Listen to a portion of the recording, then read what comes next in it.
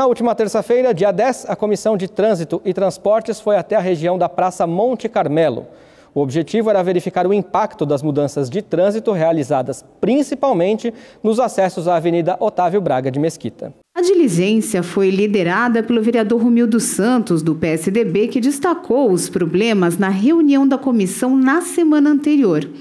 Para os comerciantes do local, a proibição de estacionar no entorno da praça e na frente dos estabelecimentos nas ruas laterais da Avenida Otávio Braga de Mesquita é o principal problema. A medida, que vigora há três meses, espantou a freguesia.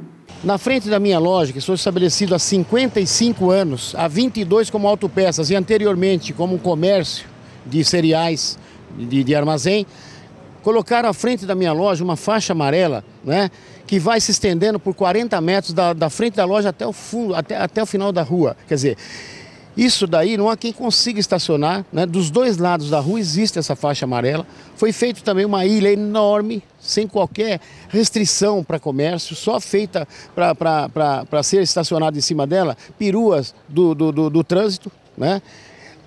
motos do trânsito, né? Enquanto que o meu cliente não pode estacionar nem na rua, nem na calçada, nem na, na, na beira, de, quer dizer, não é na beira da avenida, eu quero que estacione pelo menos dos lados. Seria um direito do, dos comerciantes, e não é só eu que tenho essa, é, é, é, essa forma. Olha, nós estamos aqui na frente, como vocês estão vendo aqui, são várias ilhas. Não pode parar ali, não pode parar, não pode parar no, no, na agência, não pode parar no varejão, não pode parar na praça, em nenhum lugar da praça se pode parar um carro. Eles colocaram proibido estacionar em frente ao nosso comércio, que é um comércio do ramo automotivo.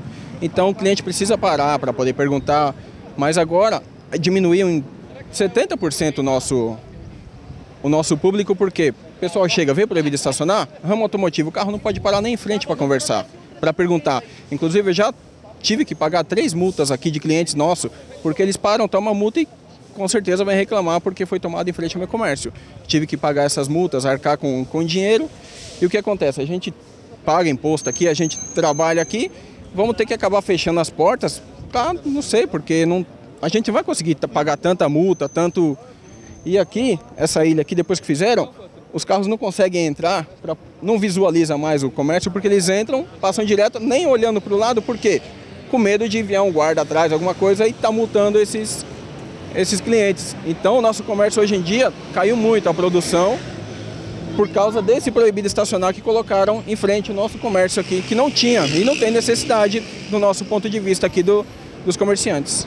Outra alteração que afetou o trânsito foram as ilhas colocadas entre as ruas de acesso à avenida.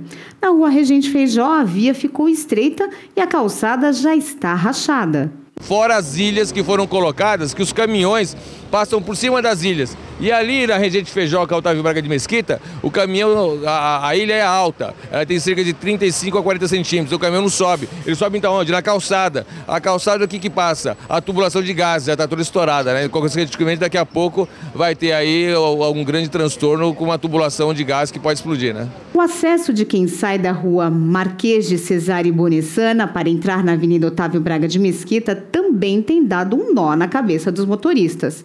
Muita gente tem burlado a lei entrando pela contramão. A entrada até que melhorou, mas também há um desrespeito de motoristas que entram aqui na contramão aqui, ó. Várias vezes eu já, já, já contornei aqui a, a, o meu ponto e topar com, passar, com um motorista subindo na contramão aí. Então uma série de coisas que precisa ser corrigida.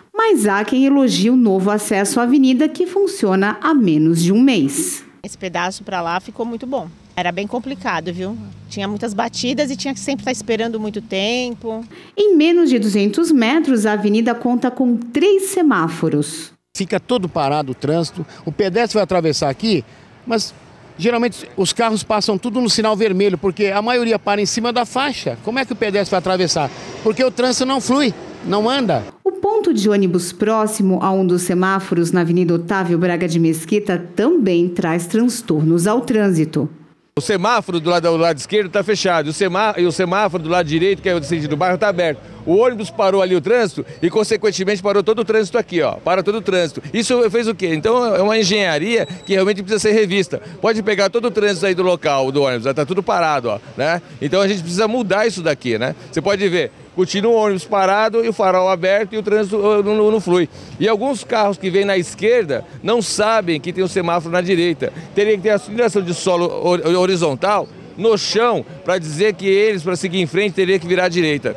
Para o vereador tucano Romildo Santos, a prefeitura tem de rever o projeto de trânsito no local. Esse ponto de ônibus ele tem que ser mais recuado, né? Tem que ser recuado, não pode ficar em cima do semáforo, sentido bairro. Outro ponto é tirar as ilhas né, e tirar as placas de proibido estacionar, que prejudicou os comerciantes em mais de 70%. Os comerciantes perderam 70% dos seus clientes. Há mais de 40 anos que os comerciantes trabalham aqui e os carros sempre pararam é, ao lado da Praça Monte Carmelo e todos os seus clientes podem ir na praça e não atrapalhava o fluxo. Por quê? Porque a rua ao entorno da Praça Monte Carmelo são ruas largas, são ruas grandes, né? E aí que eles fizeram aqui atrapalhou o pedestre, atrapalhou os carros, os veículos, atrapalhou o ônibus, atrapalhou o caminhão e atrapalhou os comerciantes. Então tem que ser feito um novo estudo. Eu, como membro da Comissão de Transportes, né, é, junto com o vereador Samuel Vasconcelos, que está como interinamente, vereador americano é o presidente, e o vereador é, Maurício Brinquinho, vamos chamar o secretário de Transportes ou a diretora de, de, de, de, de projetos para que ela explique para nós esse projeto e apresente o projeto que foi feito aqui, que foi do grupo Empave e Firpave, né, aquele que está fazendo o asfalto daqui da Otávio Braga, que parou de fazer recapeamento, recapeamento né?